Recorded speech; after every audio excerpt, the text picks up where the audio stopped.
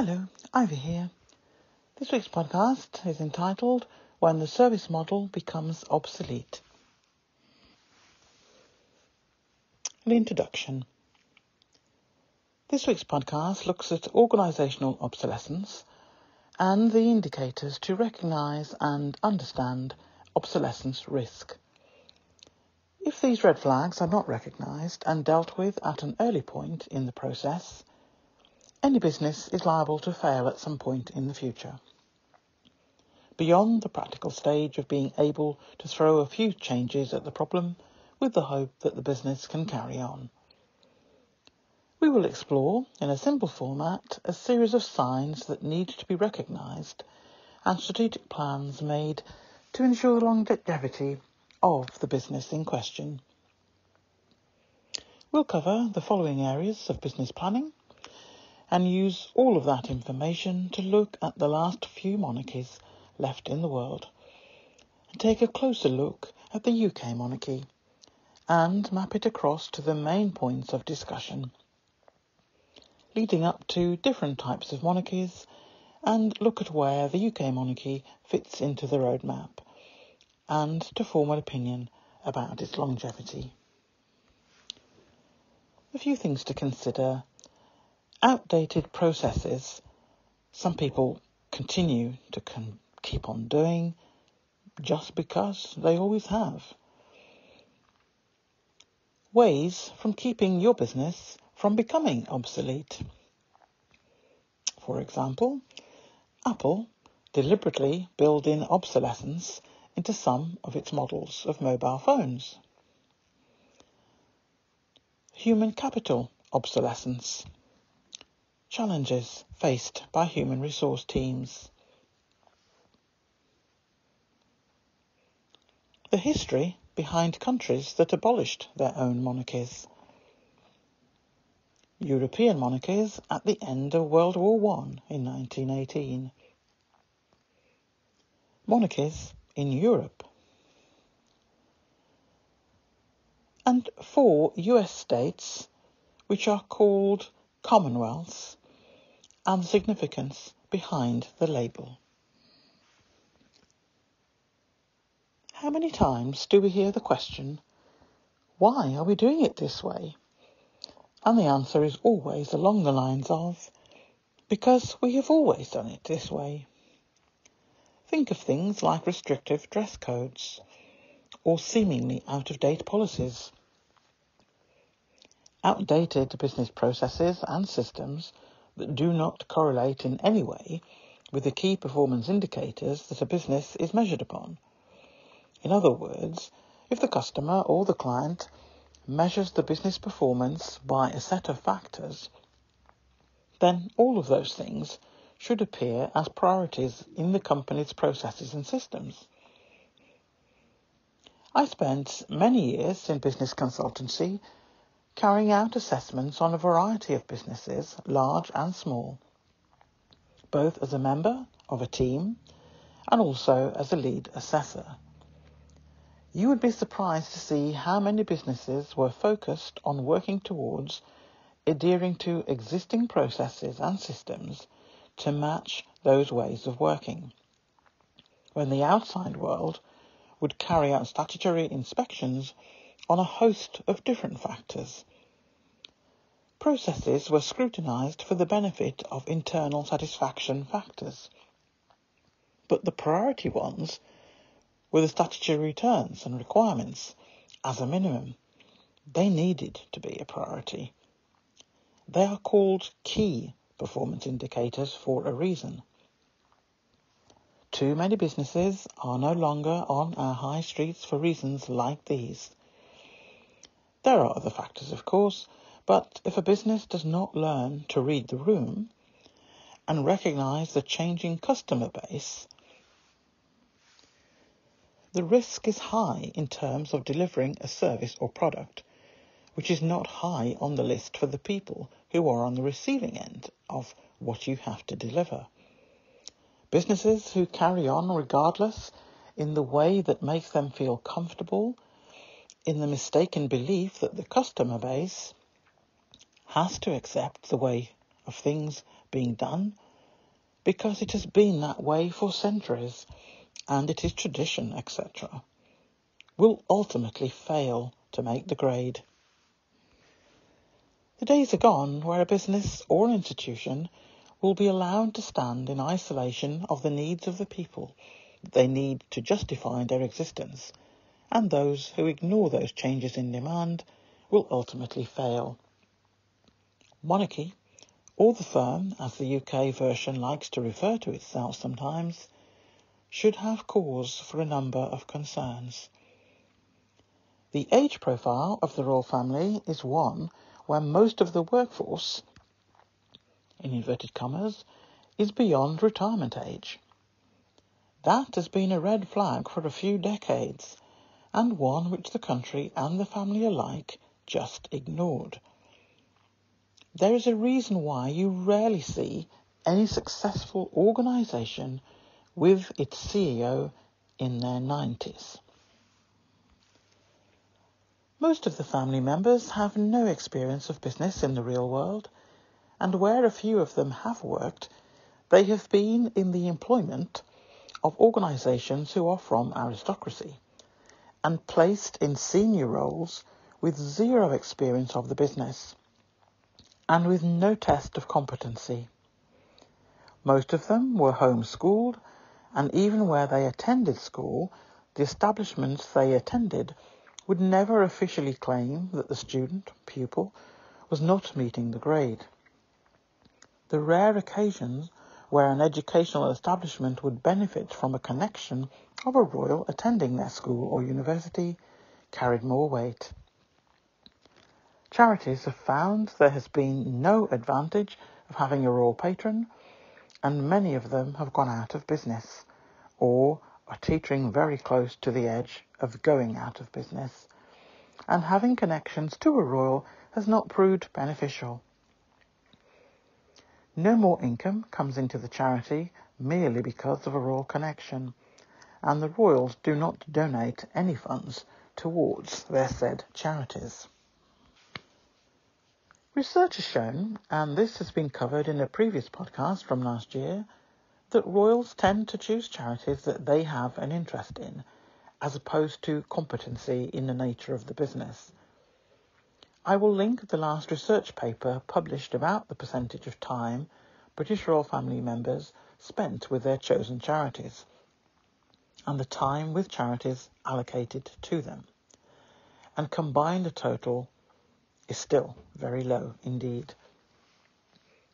When you read the report, it's easy to see why change in business processes is minimal in royal circles, because people are given things to feed their ego and sensibilities, and not based on a genuine need by the charities in question for assistance in some way, not just cash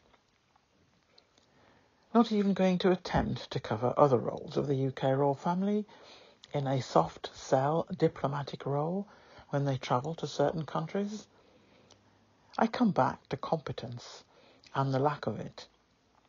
For many of the hats that royals choose to wear on any given day, and they are treated like a golden child who must be humoured and everyone has to play along with the latest role play. In this day and age, too much is at stake to have a group of people given roles simply allocated by the birth canal from which they emerged, and in what order in comparison to others. We also do not have time to discuss the breach in human rights aspects employed if any of those individuals have a desire to live and work outside of the royal bubble. It is not allowed and it is dressed up as duty. A few examples of ways to keep your business from becoming obsolete. This looks at the finance sector, but the main points remain the same across the board for all businesses. Even some of the greatest brands are becoming obsolete. Here are a few examples of key ways to win the battle for the relevance in the years ahead. Reference i.e. listed at the end of the article, and it is, this particular um, section is by Michael McQueen. In the financial sector, once lucrative revenue models are increasingly coming under siege. Equally, distribution channels that were once stable for decades are crumbling. It is apparent that the rules of business have changed. Technological shifts. Consumers have greater access to information than ever before. Simply providing a transaction interface as a broker or an agent or an advisor is no longer enough. Demographic shifts. It is critical that businesses and brands take steps to understand and engage with Generation Y, i.e. a generation of consumers and clients who make their presence known. Legislation shifts, regulatory change, government move the goalposts, which means that financial services and brands and organisations have no choice but to respond. Ways to succeed in navigating imposed change. Change before you are forced to. Become clear about the business you are actually in. Prune dead wood. Question everything. Re-engineer outdated systems and processes. Beware of biting off more than you can chew. Become ruthlessly customer centric. Look to motivate. Encourage discussion within the team and organisation. Seek a point of difference, i.e., rather than trying to outdo the competition in your market, how can you pursue a new market in a new way? Consider here Cirque du Soleil. They did just this and managed to build a flourishing business in a dying circus industry. There is an article that I have um, put at the end of the article that accompanies this podcast that looks at the brief history behind countries that abolished their own monarchies. This was an article I did for Meganpedia um, around 2020, early part of 2020, and rather than read all through it here, I've just put a link to it and hopefully you will find it useful in terms of what we are discussing today. Monarchies in Europe. As of 2022, there are 12 sovereign monarchies in Europe. Seven are kingdoms. Denmark, Norway, Sweden, the UK, Spain, the Netherlands and Belgium. Andorra, Liechtenstein and Monaco are principalities, whilst Luxembourg is a grand duchy. Vatican City is a theocratic elective monarchy ruled by the Pope.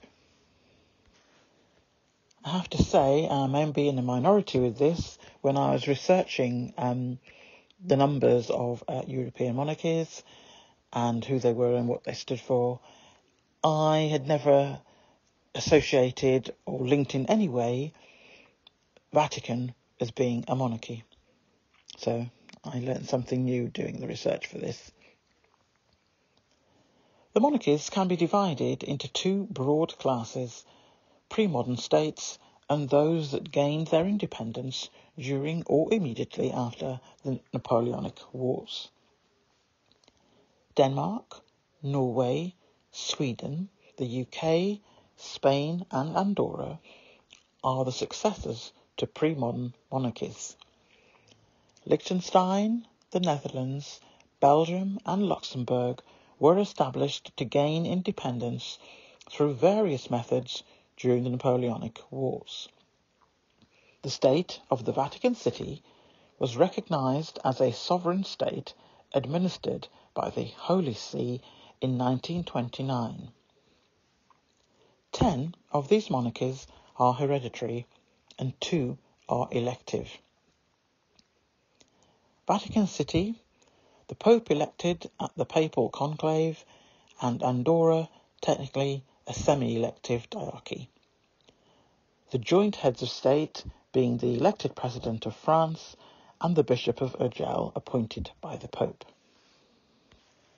Most of the monarchies in Europe are constitutional monarchies, which means that the monarch does not influence the politics of the state, or at least that is the official line. Either the monarch is legally prohibited from doing so, or the monarch does not utilize the political powers vested in the office by convention. There are two exceptions, which are Liechtenstein and Monaco, which are usually considered semi-constitutional monarchies due to the large influence the princes still have on politics, and Vatican City, which is an absolute monarch. What is a constitutional monarchy? I'm just going to quote from a podcast I did in October last year, episode 14. And the quote comes from britpolitics.co.uk which is listed in the reference sources. Constitutional monarchy refers to a system in which the monarch acts as a non-party political head of state under the constitution, whether written or unwritten. A system in which the king or queen's power is severely limited because they act only on the advice of the politicians who form the government. As head of state, the monarch undertakes constitutional and representational duties, which have developed over 1,000 years of history. In addition to these state duties, the monarch has a less formal role as a head of nation. The sovereign acts as a focus for national identity, unity and pride, gives a sense of stability and continuity, officially recognizing success and excellence and supports the ideal of voluntary service. In all of these roles, the sovereign is supported by members of their immediate family. The term monarchy derives from the Greek monos archein, meaning one ruler. Queen Elizabeth II is the sovereign and head of state of the UK and its overseas territories. The monarch referred to in the abstract as the Crown, is the source of all legislative and executive power. Since Henry VIII, the British monarch is also Supreme Governor of the Church of England. The monarch is also the head of the Commonwealth and the head of state in 15 of the 53 Commonwealth member countries. The British political system is a constitutional monarchy the supreme power held by the monarch is largely ceremonial and formal, with actual political power exercised by others. In the United Kingdom, the monarch has the following constitutional duties. The state opening of Parliament, the appointment of the Prime Minister, the approval of parliamentary legislation, the approval of official appointments, the approval of secondary legislation through the Privy Council, representational duties as head of state, such as paying and receiving state visits to and from other heads of state, receiving the credentials of foreign ambassadors, and regular confidential audiences with the Prime Minister. In addition to these constitutional duties, the monarch is also the head of the armed forces, the head of the judiciary, the head of the civil service, and the Supreme Governor of the Church of England. The monarch is also the fount of honour, and all honours are awarded in his or her name, although with notable exceptions, most are awarded on the advice of the government. The argument that the UK should abolish the monarchy and become a republic remains at the fringes of mainstream political debate. The monarchy as an institution retains public support and the Queen herself is perceived largely above criticism, despite the standing of the royal family being regarded to have suffered considerably in the last 30 years. I personally think that perception is changing, but people still do seem to think the Queen is untouchable, and that it is heresy to criticise her in any way. I do think, however, that increasing numbers of people think that the monarchy will begin to crumble once the Queen passes. There are clear signs in recent weeks that the public view of the Queen is changing, but I suspect not much will be said or any action discussed until she passes out of respect for the Queen herself. Her age and the visible signs of failing health is allowing her a pass on two harsh critical expressions in the media. The same cannot and will not be said for the next two heirs, if indeed there is one beyond Prince Charles. According to YouGov polls in October 2020, 67% of people wish to see the monarchy continue in the future, compared to 21% who stated their preference for an elected head of state and 12% who didn't know. Support for the royal family remained almost identical amongst different social classes, albeit there were regional and age variations. Compared to 67% in the country as a whole, just 58% of Londoners and 42% of those aged 18 to 24 supported the continuation of the monarchy. Now, let's not forget that Camilla, Duchess of Cornwall, has a nephew who is on the senior management board of YouGov. So take any poll that source from that source with a pinch of salt. Shame, because it used to be one of the reliable ones many years ago.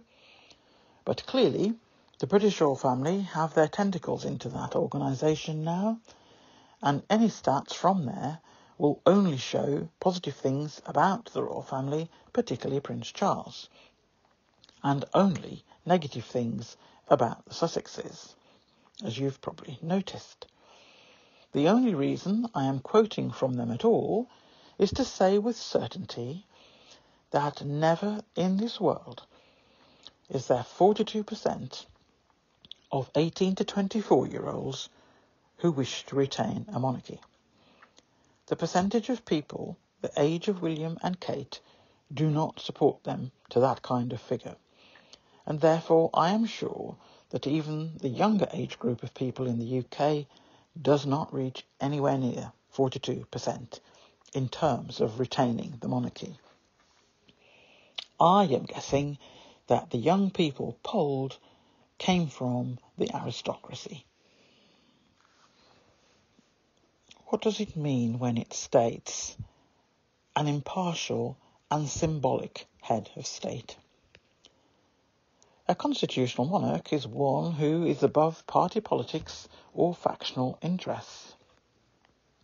If this was true, the Queen and members of her family would not be holding meetings behind closed doors where media are not even allowed to be on the grounds of the venue chosen for these non-partisan or non-political chats with senior politicians and or former political leaders, all with the view to try and stop, certainly in recent cases, to stop Scotland gaining independent status from the rest of the UK. Someone above party politics does not have laws changed to ensure that the royal family is exempt from meeting environmental targets, or does not have to comply with the Equality Act or diversity statistics made public.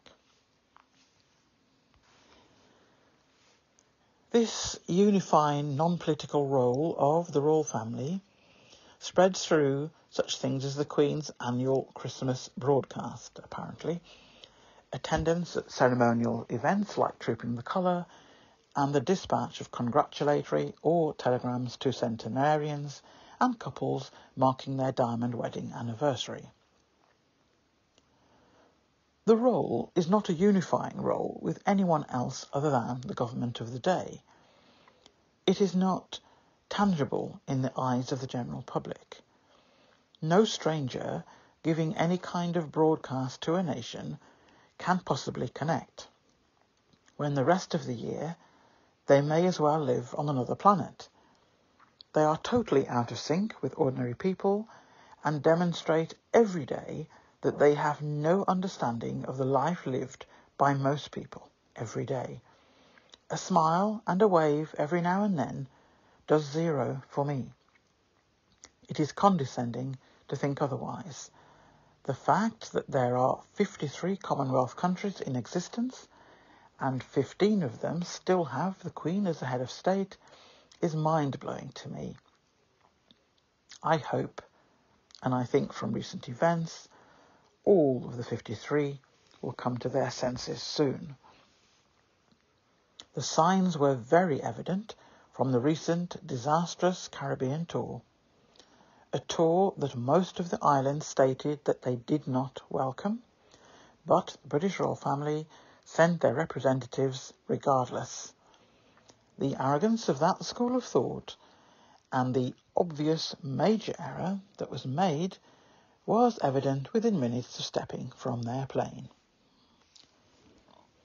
To treat the only person of colour who joined the royal family in 2018 with such abusive behaviour which led to suicidal ideation and which ultimately made life so untenable for the Sussexes that they stepped back from senior royal duties and left the UK in March 2020 speaks volumes to sensible people. To then think that some type of perceived charm offensive by imposing visits from members of the royal family to the Caribbean would be welcomed. Not to mention, the islands made it clear that a visit was not welcome, but the royals went anyway. And to add salt to the wound, the style and content of the whole visit to every island reeked of slave owners visiting its various plantations. The world witnessed in real time what was done to Meghan, Duchess of Sussex, and continues to be done to the Sussexes by instruction from the royal family. Members of the Commonwealth witnessed it too, and when you hurt one person of colour, you hurt all of us. The Commonwealth have felt uneasy for some time about the current arrangement, but were waiting until the Queen passed to raise it as an issue. However, the treatment of Meghan and the continued arrogance that the royal family carry on as though nothing has happened, and that somehow a false smile and a handshake through meshed wire fences is going to lead to positive opinion is naive and, more importantly, offensive. If courtiers had any semblance of knowledge of true public opinion outside of the royal bubble, I cannot imagine anyone of the royal family being sent to the Caribbean and expecting a positive outcome. What is, without doubt, worst people to send on a charm offensive to the Caribbean of all places was the Cambridges. The worst. The couple, who are pivotal in Meghan and subsequently Harry's suffering and continued abuse by the family as a whole, were top of the list of who not to send to a black nation. The second error was to set up a series of scenarios which replicated colonizer vibes on the plantation. The images from that tour are anything but good. The fact that no one on that team recognized the elephant in the room and thought that those images were fine to circulate around the world speaks volumes. A system that has been in place for centuries has no place in the modern world, none. The UK British Royal Family exists because it is supported by the government and the other groups I've all previously mentioned in previous podcasts. It allows a way of life to continue without challenge. The British people have never been allowed to vote on whether or not a monarchy is wanted. And the media arm of the quartet of vested interests do not wish their way of life in each group to change. Now, when we look at the royal family and its notion of being a firm, many things fall short in terms of adapting and staying alongside, if not ahead, of the changes. One of the main stumbling blocks on such an entity is that the members of the firm, i.e., the notional workforce, are family members who are given roles which have nothing to do with competency or ability to acquire knowledge, but merely on the order of birth from a parent who is also judged by their position in the line of succession. Activity has never been measured or scrutinised in any way, and qualities therefore always described in glowing terms, despite the fact that no meaningful measure is ever applied. The figures shown every year next to the various packages are meant to give the impression of increase in income from being a patronage of the royal family. And each year this index is proudly quoted in terms of the number of visits, ribbon cutting, waving, etc., and the income that flowed in as a result. The reality is that those figures are estimated of what will likely be earned in the year when all the calculations are made. No explanations are ever given about how those figures is arrived at and at what point do the actual earnings ever appear. Unlike businesses in the real world, they have the pressure of providing detailed figures to a variety of bodies, including the tax office for tax purposes. If the Queen is supposedly acting on behalf of the government of the day, therefore does this mean protecting Prince Andrew from the legal process was approved by the UK government? Nothing negative is ever written publicly about those regarded as senior royals and in the line of succession, no matter the activity. When something does appear to be criticising a senior member of the British royal family, it is due to the other two palaces working together to remove what they deem to be a blockage on the way to the throne. The hereditary monarchy system encourages family members to be pitted against each other and history has shown that some of those who were in line to take the throne, their lives were brought to an end by people connected with or on behalf of the next in line. The royal family claimed that Meghan was not family and not an employee of the royal family either. No financial provision was made for her, she paid her own way. The firm claimed that it would be embarrassing to admit that a member of the British royal family needed to seek help for her mental health. History has shown that those in line of succession to the throne will never be shown to have done any wrong, and will certainly not be made accountable. Traditionally, royals used a whipping boy to take the blame for the deeds of the senior royal. Since Prince Harry stepped away from this toxic environment, a few people have fallen on their sword for a senior royal, whatever the official statement put out. Currently, those queries relating to the money trail of funds coming in for one purpose but being used for something entirely different are investigated by the same charity foundation which appears to have knowledge of this money trail. Why not an independent investigation? The age-old excuse, the monarchy and its senior royals cannot be seen to be criticised. Environmental legislation has been changed following intervention by the Queen to make all royal household exempt from such requirements. Officially, the Queen does not lobby, nor any member of her family, yet here we are with the Queen changing legislation behind closed doors. As I've mentioned already, equality legislation does not apply to the workforce employed by the monarchy. Once again, mirroring behaviour of the UK government in a few areas where it seems rules do not apply to them either.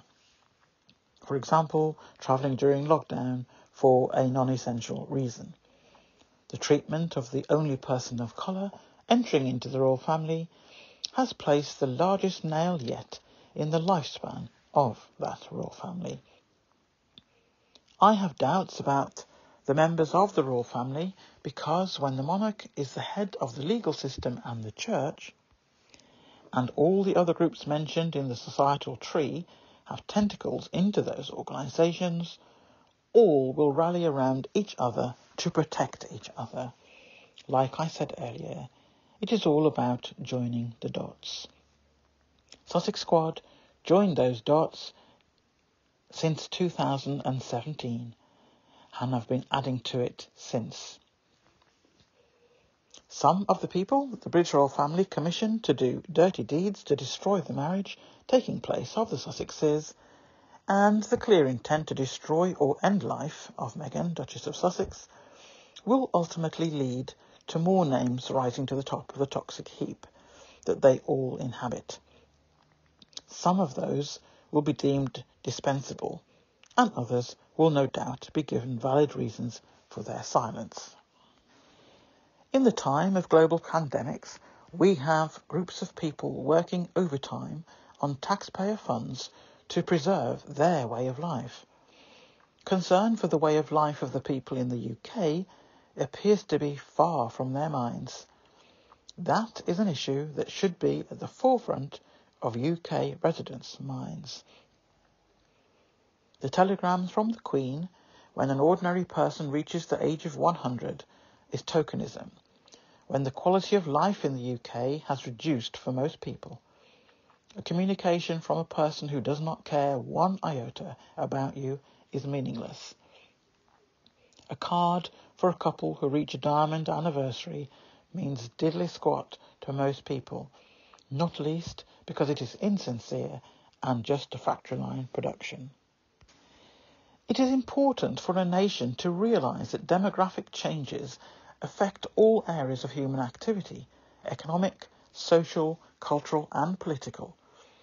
All forward thinking businesses research, develop, and build their business plans based essentially on those four areas listed above. Any business that plans activities outside of those areas is destined to fail at some point in the future. Not everything can be predicted, but most things can be if policymakers and strategy specialists follow and interpret trends in each of those areas. Where things happen that could not be foreseen, then the ability and speed of flexibility comes into play.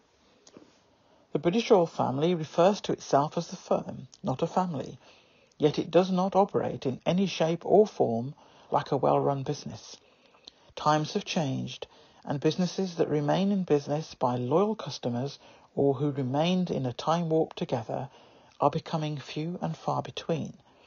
The businesses that have survived and who will be able to somehow hold on to some aspect of their operations in the current global pandemic and who recognise the need for completely new ways of working and delivering a service are the ones who are the most likely to be successful, no matter what.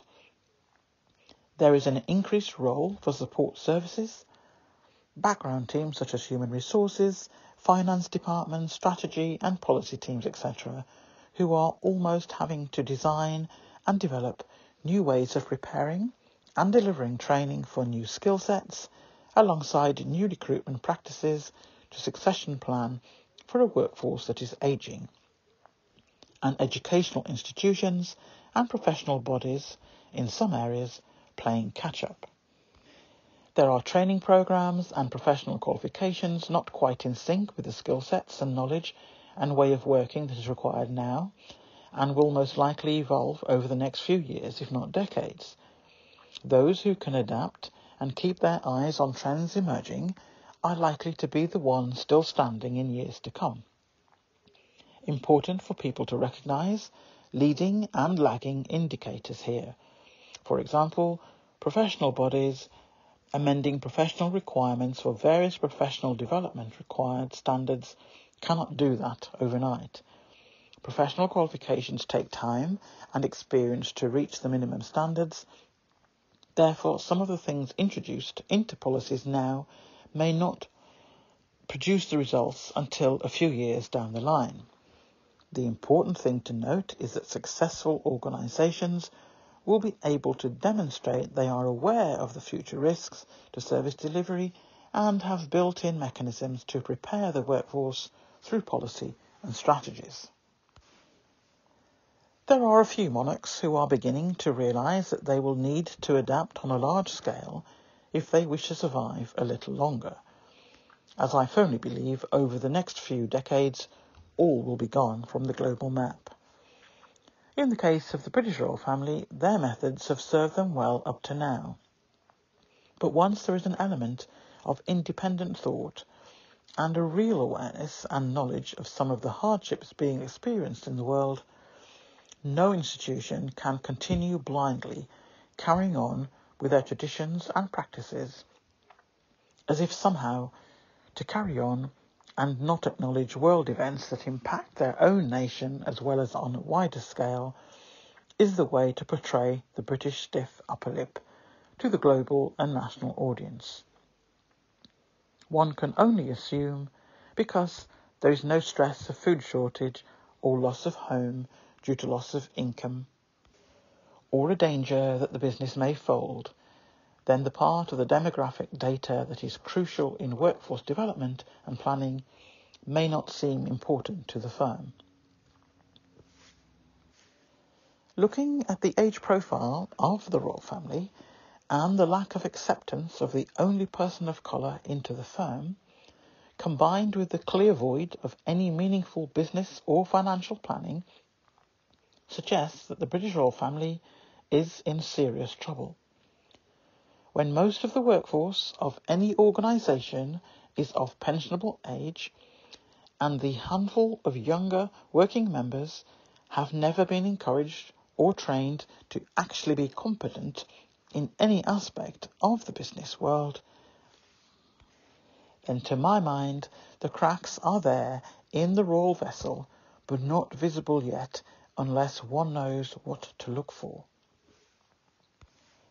I see trouble ahead.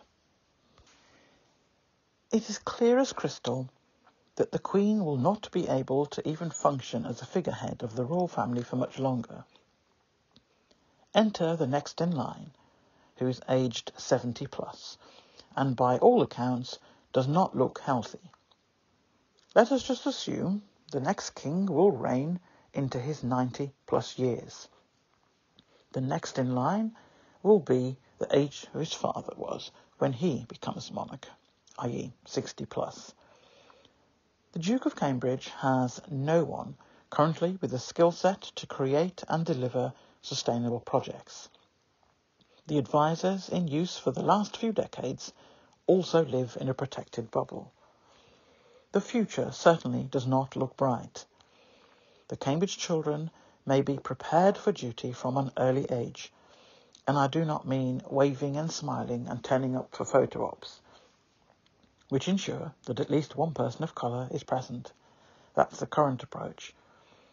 Survival of the British royal family relies on the slaves in an opulent setting, still to be in play. In other words, it is assumed that the oldest child will just assume he will be king one day and no consideration will be given as to whether he's competent to do so, or whether, in fact, he wishes to do so. We all know how the spares in the royal family are treated, and the fact that the Duke and Duchess of Sussex are still standing and breathing and free from the slave regime is down to their personal skill set and a wish to be of service to the vulnerable, alongside the miracle that is Sussex Squad. Sussex Squad is not a fan base. It is way beyond that description, which I always like to repeat. Sussex Squad is a global support network, here to challenge lies and deception and propaganda from the royal family and associates. The UK monarchy has its support base mainly in the age group similar to themselves. And there are far less of those in the Cambridge age group. The numbers that used to appear on their social media platforms were in the main haters of the Sussexes, not supporters of the wider royal family, and the rest were Autobot accounts, which has been proven by independent research and reported on in the USA Quality Press.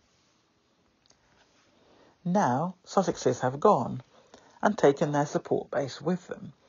The shortfall in interest and income is already being noticed. I predict it will not improve enough to justify future decades of a UK monarchy. The royal family have failed to recognise that demographic change has an impact on them too. They have relied on Royal Rota's spin that they are adored and will be fine and that the institution is safe. The UK likes all the pomp and ceremony, etc. People suffering job losses and poor nutrition in what is meant to be a successful country is not a good look and ensures that most of those people cannot and will not identify with the opulence of palace living. Young people have uncertain futures in terms of prosperity and being free to do and plan things like their parents did in their younger years. People of colour have seen how the royal family supported by the establishment, treated Duchess Meghan when she entered the family, and how short her time there actually lasted, despite the clear popularity and successes of all projects and tasks undertaken. Those actions all came to a head in the Commonwealth Service on the 9th of March 2020, where in a final stroke people of colour here in the UK and within the Commonwealth, and then globally, had the alienation confirmed. The UK cannot come back from that, and certainly not as long as the royal family exist. Increasing societal groups feel alienated from the opulence that is constantly in our media reports, as well as negative reports when people of colour are seen with opulence, and on many occasions are seen as helping those who are less fortunate. It seems very selective as to who the UK is comfortable with having a luxury lifestyle. The British royal family have alienated so much of our society, and their support base matches the current age profile of the family itself. There will be trouble ahead. Meanwhile, Sussex supporters have all moved, virtually and otherwise, to Montecito. We are not royalists, so any attempt to ride the Sussex wave will be removed. I'd like to mention a learning point here, an important learning point. All those the UK royal family have alienated will prove to be one of the largest mistakes the family and its advisors and associates have made, and it will be depicted in the history books. Sussex supporters left with the Duke and Duchess of Sussex. None are focused on or interested in the day-to-day activity of the British royal family.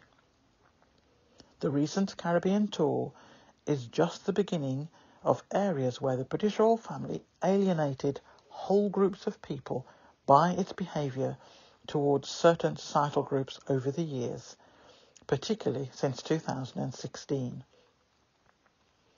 The royal family and its media, printed, online and televised, the UK government, certain UK police forces must all take responsibility for the alienation of certain groups in society and should not now be surprised that globally the UK is no longer revered the way it used to be. All of the damage done to the reputation of the UK has been self-inflicted by those who believe that the tried and tested practices and models of the way certain things were done do not need to change, and the same results were expected every time. The same results will not be achieved and as the UK Prime Minister recently experienced, the cold wind of change was evident for the world's press to see without filter. The UK PM looked uncomfortable and very much on the periphery of a number of interactions with other world leaders. A key theme running through all of this section is when the systems and processes you put in place then outlaws other groups in society who prior to those systems being put in place were welcomed in the country, you cannot then go and try and intermingle with the said nations who you have just sent high numbers back to their country of birth or elsewhere around the world and expect to be welcomed, let alone hope for favourable trade deals. The Caribbean tour is the template of what is to come in a variety of places. It's useful to remind everyone listening to this podcast that only the black members of the Commonwealth are required to possess a visa before they can enter the UK, but the white nations do not have those entry requirements. Another example of the duality of approach by UK monarchy in recent years, there was a planned tour of Australia. Australians made it clear that a visit from the UK monarch was not wanted at that time, and the visit was cancelled. During the same period, visits were planned to the Caribbean, and it was made clear that the visit was not welcomed by some of those islands, but those visits went ahead anyway. The views of people of colour were ignored by the UK government and its monarchy. The old saying, you reap what you sow, will be evident for the next decade or so. The UK way of conducting business is out of step with increasing numbers and the ripple effect on the UK or England, if the others manage to break away, as some wish to do, combined with how the UK is viewed globally, the next couple of decades or so will be interesting, if not painful, to watch unfold. You cannot disrespect your workforce and button down the hatches and go it alone to utopia when you realize you need some form of assistance, you then expect to go with a smile and a handshake to the nations you previously disrespected their citizens and think that you will be welcomed with open arms. Any business enterprise that operates using old playbooks like those used in the past and expecting the outcomes to be the same in the future despite society changing will go to the wall, or at best will languish in no man's land, all self-inflicted. No, there is no need for a monarchy anywhere in a modern society, none. The facade that they think they are portraying is not fooling many, and I personally can live my life without a smile and a wave from people who would only employ someone like me in a servile position. Most of the British royal family are dunderheads and are in no position to look down on others just because of whichever birth canal they emerge from. My family and ancestors knew more about values and humanity than any of these current cult members on a plantation behind gilded gates. This present group are more than content for people to lose their life or be placed in danger if it ensures survival of the monarchy. I will never forgive for the actions taken against the Sussexes and will actively join any movement that is genuinely operating for it to come to an end. Harry and Meghan are the face of global humanitarianism. Monarchy anywhere is not. That's the end of the podcast for this week. There is far more information in the article. I couldn't go through all of that. I'd have been here for much, much longer. And I think nearly an hour is enough for you all. Um, so, more information, all of the reference sources as per usual in the article, which will be up on the website tomorrow. Thank you for listening. It's bye from me. Bye from Ivy. Bye.